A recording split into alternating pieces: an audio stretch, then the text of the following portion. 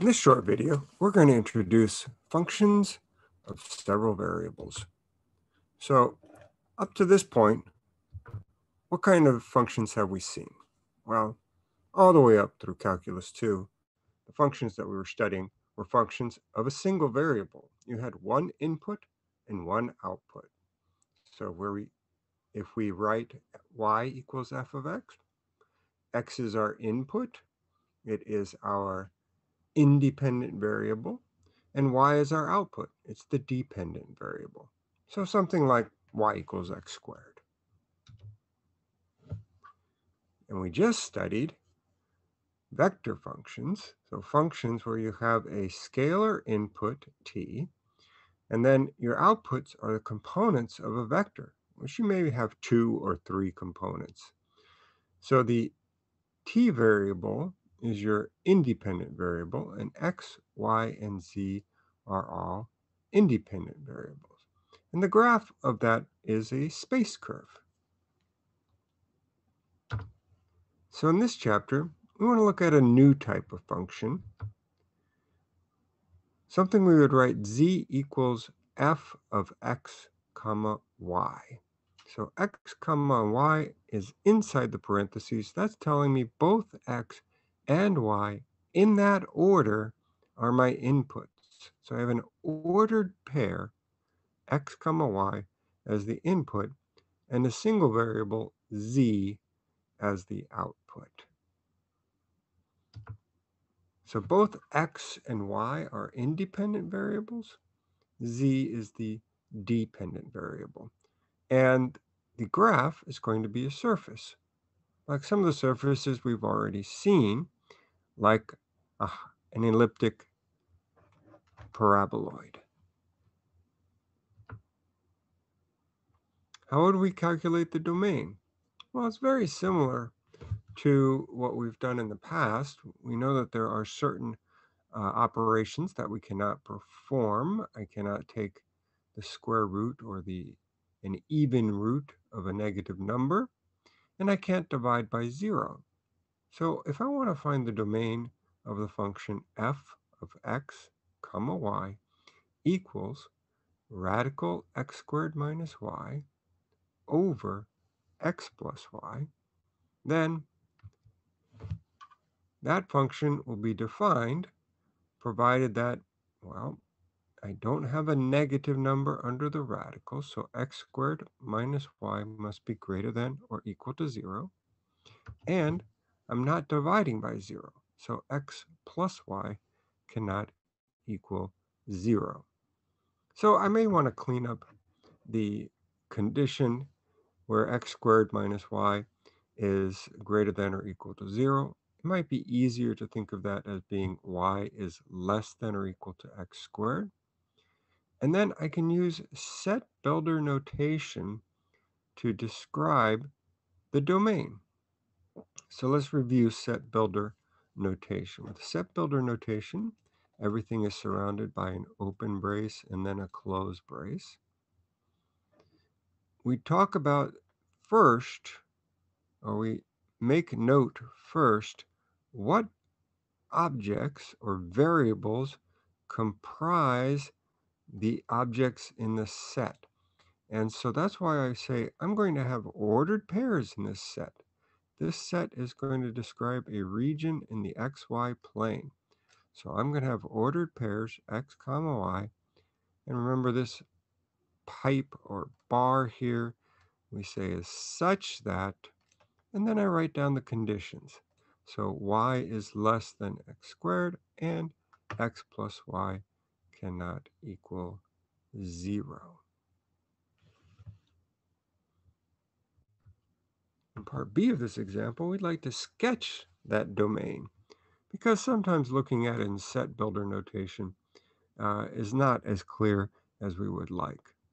So we have the two conditions. y has to be less than x squared and less than or equal to x squared, and x plus y cannot equal zero. So that's going to give us a region in the xy plane. It's going to be the portion below the parabola y equals x squared and not on the line y equals negative x. So I've drawn a dashed line there to indicate that that line is not part of the domain.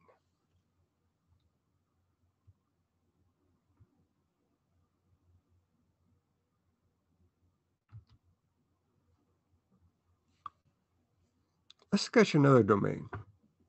For the function g of x comma y equals the natural log of 1 minus xy. So remember, the domain of a log function is only the positive numbers. You cannot take the log of 0, and you can't take the log of a negative number. So we have to have 1 minus xy, the input to the log function, has to be strictly greater than 0, which is equivalent to saying that x times y should be less than 1. So if I want to sketch the region x times y is less than 1, then I should think about the boundary. And the way I find the boundary is replace the inequality sign with an equal sign. So the boundary will be the parabola xy equals 1. I said not, not parabola, hyperbola xy equals 1. And I'll use a dashed line because I have strictly greater than. So whenever it equals 1, that's not part of the domain. So I've used a dashed line, sketched x times y equals 1. And now I've got to find out, well, which of the regions? Is it the region between the two branches, or is it the region outside of the two branches where my domain lies? I want x, y to be less than 1. Well, to help us, we can use a test point.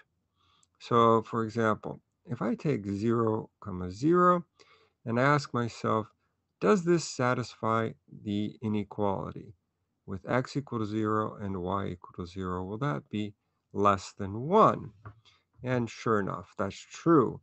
So that tells me that the 0, comma 0 does belong to the region that I want or does belong to the domain.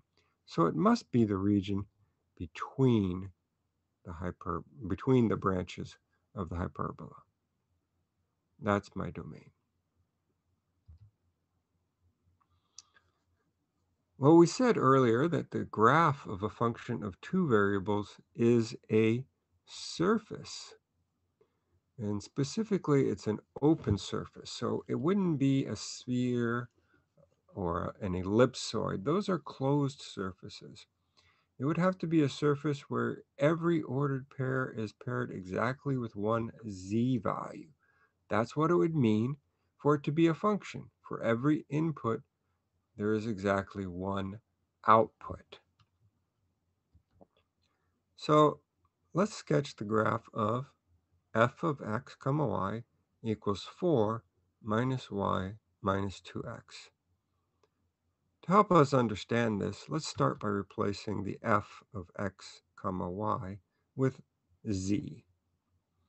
So now I have the equation z equals 4 minus y minus 2x. And this is a familiar object. Its graph is familiar.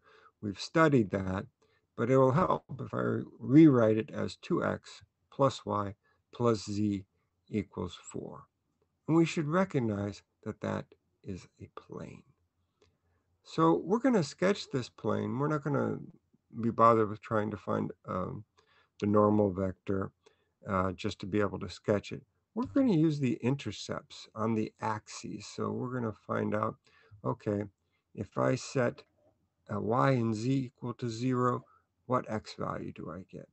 If I set x and z equal to 0, what y value do I get? And if I have x and y equal to 0, what z value do I get? And then I'll plot those points on the axes, connect them with the triangle, and shade the region between. And that is sufficient to represent the graph of that plane.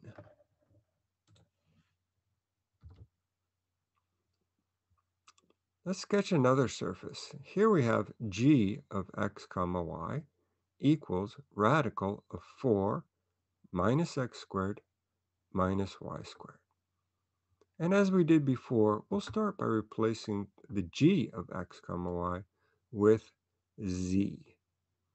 Then I'm going to square both sides, and I'm going to see that, oh, I can rewrite that as x squared plus y squared plus z squared equals 4.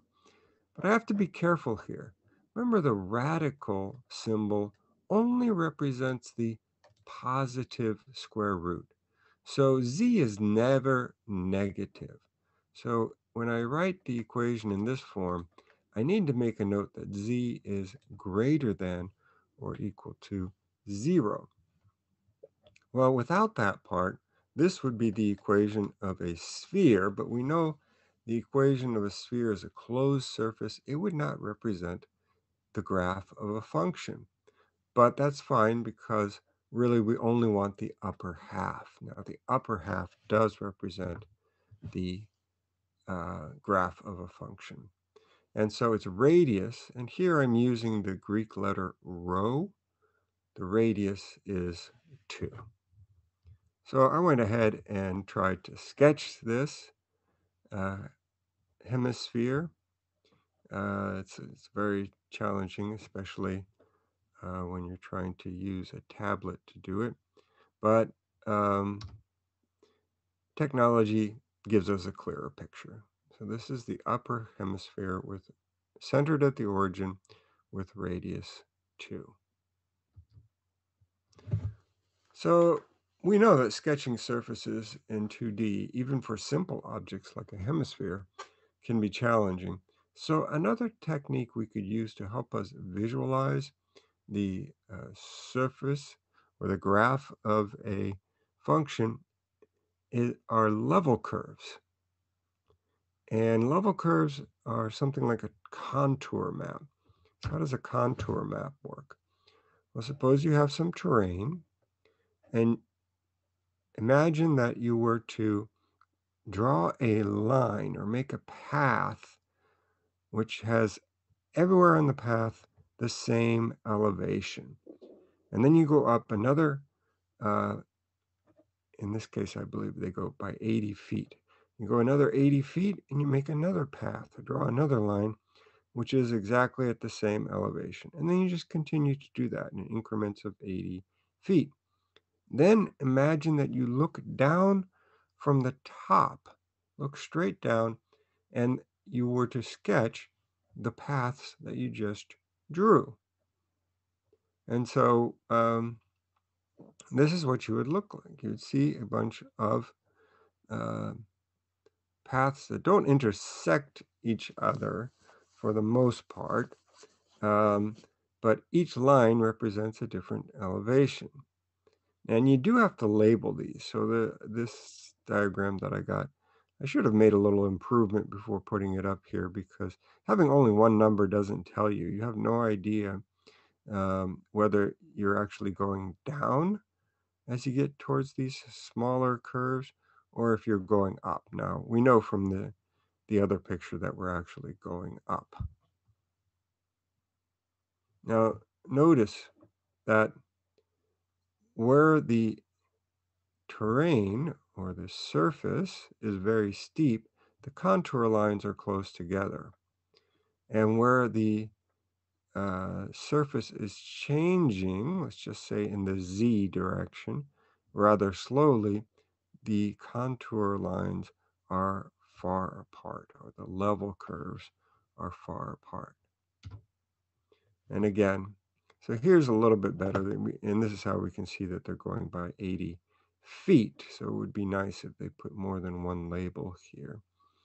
So again, on this side, I have a very steep ascent or a steep slope. The level curves are close together, tightly packed. On this side, I'm going up with a more gentle slope, or over here, a more gentle slope. The level curves are far apart. So how would we draw the level curves of a surface? z equals f of xy? Well, we want to pick some values of k that are equally spaced. So it may make sense to use, you know, k equals, you know, negative 2 to positive 2. But you want to go from negative 2 to negative 1 to 0 to 1 to 2, equally spaced. If I choose my spacing to be 1 half, I could do k equals 0, 0 0.5, 1, 1.5. The choice of k is going to depend on the surface. And so you're going to have to think about, for example, what possible z values even make sense there? And you know which ones would be of interest? Usually zero is going to be one of them um, but it really is going to depend on the surface that you look at. But once you've chosen your values of k you're going to sketch f of xy equals k. So that'll be a curve in the xy plane and then you're going to label that curve with your value for k. So for example, we have our hemisphere. So I'm going to choose values of k which makes sense here. Um, remember the radical is the positive square root. So it wouldn't make any sense for me to choose k values which are smaller than zero. So I'll start cho choosing the, the zero value. But then I can also see that um, really the largest that z can be is 2. So the largest value for k is 2. So I just want to divide that up into equal, equal increments from 0 to 2. So I chose 1 half. So I'm going to set my uh, f of xy, my z value, or my elevation, my height of the surface to be 0, then 1 half, then 1, 3 halves, and 2. And doing some uh, uh, algebra here, I can see that each one of those will give me an equation of a circle, except for the very last one. The only solution to x squared plus y squared equals 0 uh, is the origin, the 1 point 0 comma 0. So when I graph those, and I use some technology to help me here, this is Desmos helping me, uh, I just get a set of concentric circles, and you can see, now I've labeled these, right? The z, I put z instead of k because really that is the height, right? I'm talking about, okay, at the very center of, uh, or at the origin, I know that the height of that surface is two units. And on the boundary of it, the outer boundary, the height is zero. And so on this first circle, the height is a half. On the brown circle, the height is one. And on this circle here, not sure what color we want to call this, uh, mauve, it's the height is 3 halves or 1.5. So those correspond to my k values right there. And from what we know about a, a sphere, if we look down upon it, going from the very top and moving out, it starts out with a very shallow slope, but then as you get to the edges, the slope gets very steep, and that's why the uh, level curves now start to get very close together as you approach the edge. So let's look at the level curves for a hyperbolic paraboloid. Remember, this is a, a, surface that has a saddle point, right? If I put y equal to 0, I get an upward opening, z equals x squared plus 1. If I put x equal to 0, I get a downward opening parabola, z equals negative y squared plus 1. So I'm going to choose some different values of k. Now here I could have z values, so replacing h of x comma y with the z. z could be positive or it could be negative. So I'm just going to take a negative 2 up to positive 2 or maybe positive 3. And uh, I see that I'm going to get a collection of hyperbola. Now here, where the I have a negative sign over here, I'm going to get a hyperbola uh, which has intercepts on the y-axis. Uh, this x squared minus y squared equals 0 is actually not a hyperbola. It's just the lines x equals positive y, x equals negative y. And then if I look at um, the, the, I'm sorry, the hyperbolas where I have a positive value on the right-hand side, that tells me that I'm going to get hyperbolas that have intercepts on the x-axis. And I'm not sure what I just did there. If I can clean this up, I seem to have duplicated my y. There we go. All right, so uh, again, using some technology to help me draw that, uh, I've got, uh, again, when my z, z value or my height is negative, I actually wind up, or zero, so when the right-hand side winds up being negative, uh, I have a hyperbola, so two branches. I only labeled the upper branch, but there's a lower branch corresponding to each one of these. And the heights are negative 2, negative 1, and 0. And so as you go away from, this is this part right here, the origin, right at the origin, as you go along the y-axis, you're actually going down in either direction. And your height at the peak there is 1. And then if you go, again, walking uh, in the y direction, positive y direction or the negative y direction, you're going down. And that makes sense. Remember, we saw when x is 0, you have negative y squared plus 1. On the other hand, as you go along the x-axis, you're actually going up. You're starting from 1, then you go to 2, 3, and 4. So right here at the origin is my saddle point.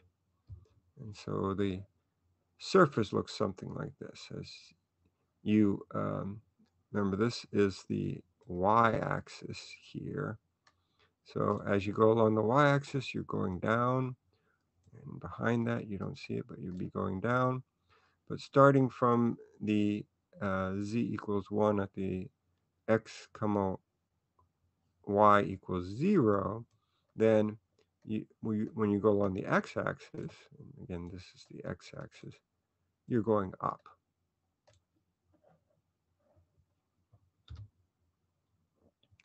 Now, we've only been talking about functions of two variables because we actually can imagine or sketch the graph of that uh, of a function of two variables. It's an object in 3D, and that's the where we live. We live in 3D. But if I have something like w equals a function of x, y, and z, the input is an ordered triplet, so you have three independent variables, x, y, and z, and you have one dependent variable, w,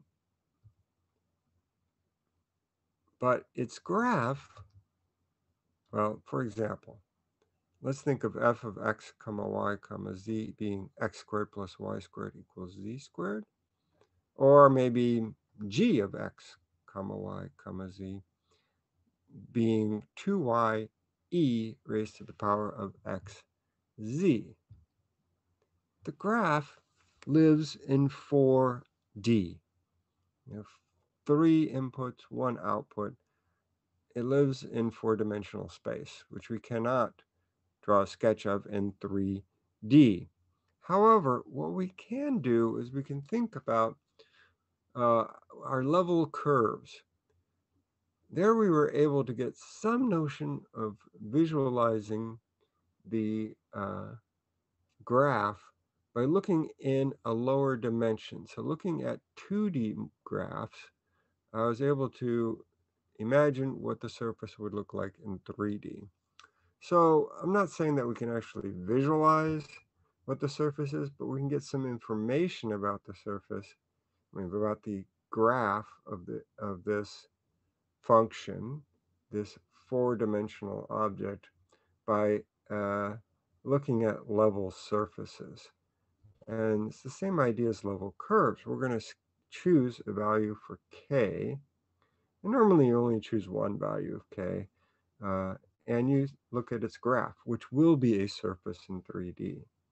Now, it doesn't have to be a surface uh, which represents a function, because this is just a level surface for our function. So an example would be, if I look at f of x comma y comma z is x squared plus y squared plus z squared, and say choose k equals to 1, my level surface now is the sphere. And it would be the whole sphere with radius 1.